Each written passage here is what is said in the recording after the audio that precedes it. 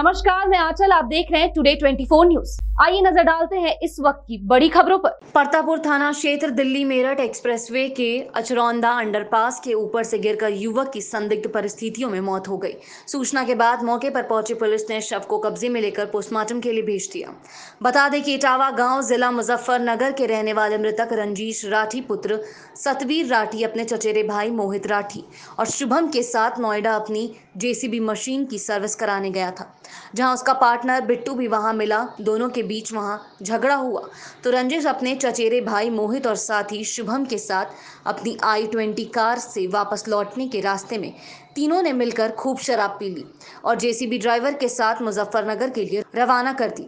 जैसे ही तीनों Kashi toll plaza के पास पहुँचे तो नशे की हालत में गाड़ी को एक साइड लगाकर तीनों उसी में लेट गए। सुबह जब उठे तो वहाँ रंजिश नहीं था, जिसकी तलाश चचेरे भाई मोहित और शुभम ने की। पर उसका कोई पता नहीं चल पाया। कुछ देर बाद खेत में काम करने आए किसानों ने बताया कि अचरौंडा अंदर पास के नीचे एक डेड बॉडी पड़ी है, जहाँ उसकी पहचान रंजिश के रूप में की गई। सबकी हालत देखकर पुलिस घटना को संदिग्ध मानते हुए मृतक के दोनों साथियों और पार्टनर से पूछताछ में जुट गई। अभी के लिए बस इतना ही। बने रहिए टुडे 24 न्यूज़ के साथ।